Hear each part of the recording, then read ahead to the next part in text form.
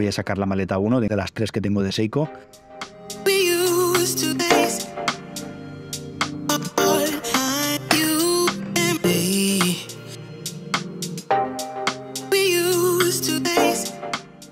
Aquí está. Bueno, vamos a ver.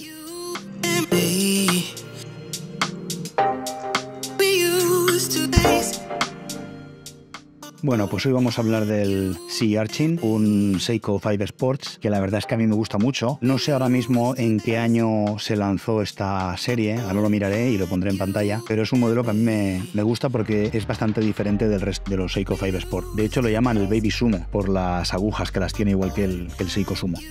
Entonces, la referencia es la SNZF17K1, porque está fabricada en Corea. Esta es la versión asiática, por lo que tiene en el calendario, lo tiene en inglés y, en, con números, creo que son los números japoneses, los kanji japoneses. Una limpiadita de rigor. ¿Está en foco? Sí. Bueno, pues este es el Sea Archin. Es un Seiko 55 Sport con bisel de aluminio, el diales mate, los marcadores en relieve, las agujas del, sumo. Está parado, pero vamos, con un simple movimiento ya se pone en marcha. La aguja con lollipop, con el contrapeso tipo lollipop. Y lo he puesto en domingo en el carácter asiático porque es curioso, porque tiene la misma textura que la carne del, del. No es un color plano, es un rojo con, un poco de, de relieve. Es una pasada. ¿Por qué me gusta este reloj? Porque tiene un diámetro contenido, son 42 milímetros, está bastante, bastante bien. Importante. Eh, a mí nunca me veréis con un Seiko Samurai porque tiene la, corona muy grande. No me gustan las coronas tan grandes. En este tiene la corona súper pequeñita. De hecho, a mi gusto, un poquito más pequeña de lo que debería ser para mi gusto. Eh, cepillado y pulido. El lateral es pulido y lo que son las asas son cepilladas. Como siempre, una cosa que mucha gente no sabe de Seiko es que Seiko utiliza uno de los mejores aceros para todos sus relojes, no importa que sea Sumo, que sea Tartel, que sea Serie 5 Five Sports, tienen un metal bastante, bastante bueno y de hecho es una de las cosas que, lo, que marca la diferencia con, con estos relojes. El brazalete es bastante bueno, me gusta mucho la calidad de este, difiere bastante de los normales de los Seiko 5 Score y bueno, es muy bonito. Me gusta mucho el, el, logotipo del 5, no es la S de Superman, supongo que es porque es la versión antigua, junto con el Water 100, 100 metros de resistencia, que también es rollo vintage. El reloj me gusta mucho, muy bonita. No voy a extenderme mucho. Bueno, algo que la gente no sabe de los Five Sports es que una de las premisas de, la marca japonesa es que los Five Sports tienen que ser como mínimo, porque este es diferente. Este no lleva la corona las 4 como, como los antiguos SKX.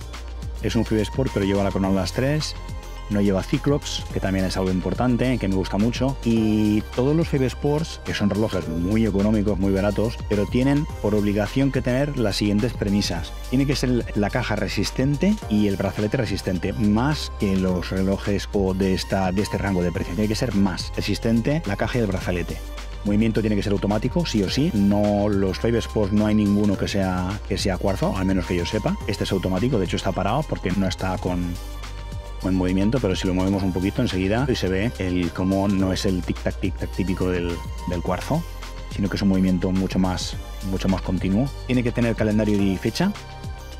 Este lo tiene y todos lo tienen. Tiene que ser sumergible. Mucha gente dice que los Five Sports no son relojes de buceo. Obviamente no son relojes certificados de buceo porque no tienen eh, ciertas condiciones como por ejemplo el tener el, el Luma Bright o el Lumen o el a las 3. Algunos starters sí que los tienen, pero sin embargo eh, los Firefly no lo tienen, por lo tanto no se puede considerar que tiene la certificación ISO de, reloj de buceo profesional. Pero sí que es un, reloj para bucear porque son 100 metros y el buceo recreativo con botella no puedes bajar más de 30 metros, a no ser que seas avanzado. Eso sí que necesita certificación especial. Entonces, eh, sí es sumergible, sí que se puede meter bajo el agua, sí que puedes bucear con él hasta 100 metros, que normalmente Seiko siempre supera la marca que tiene especificada en cada referencia. Y luego dice que los High Sport tienen que tener corona encajada a las 4, que es aquí. Pero esta la tiene a las 3 y es un Five Sports. Aquí lo pone claro. Entonces, bueno, es lo típico de Seiko que dice y desdice, hace y deshace. Cristal no es de zafiro, es el, el Harless típico de Seiko. A mí me gusta cómo está acabado, es muy bonito. A ver, me voy a quitar el guante porque queda mejor sin el guante.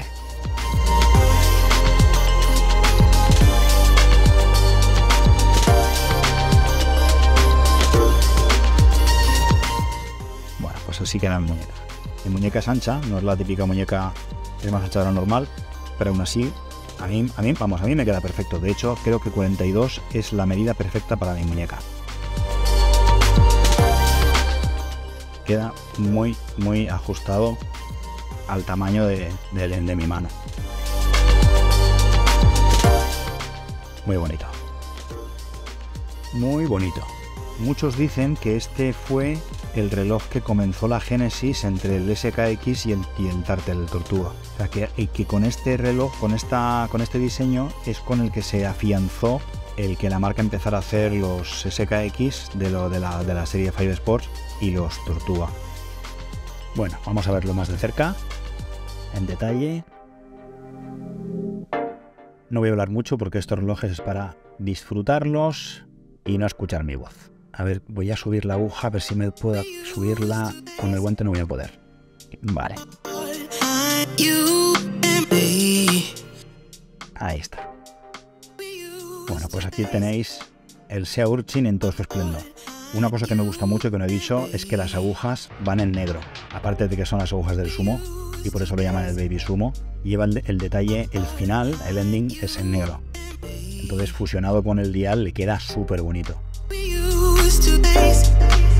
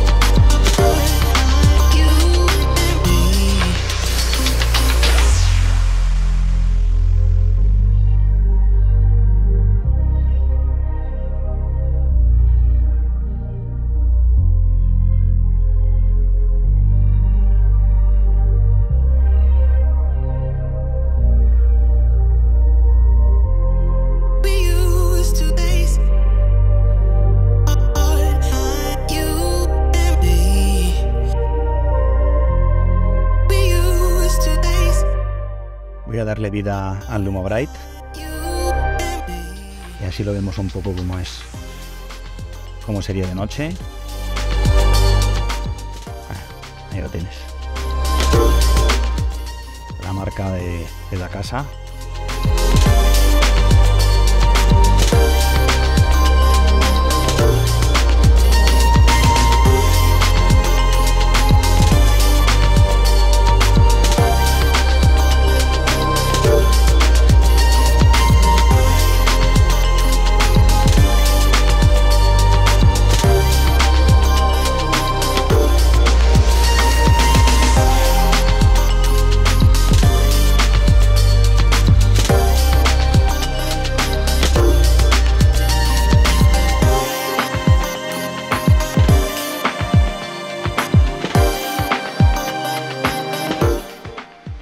Pues este es el, el, bichito. Mira, como tengo por aquí, lo he sacado para hacer una sesión de fotografía. Vamos a compararlo con, el, con, los SK, con la nueva serie SKX y las diferencias que tiene.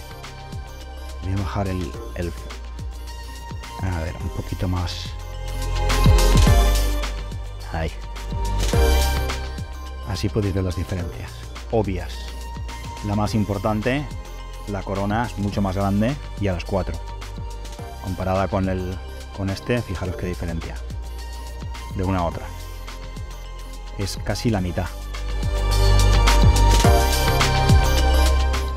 En tamaño es casi la mitad.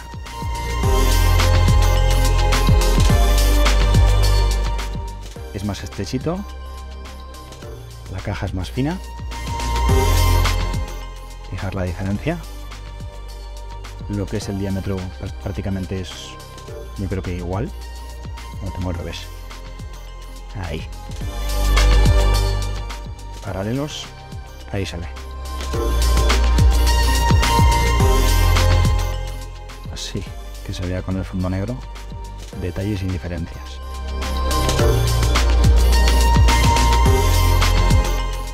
Pues nada,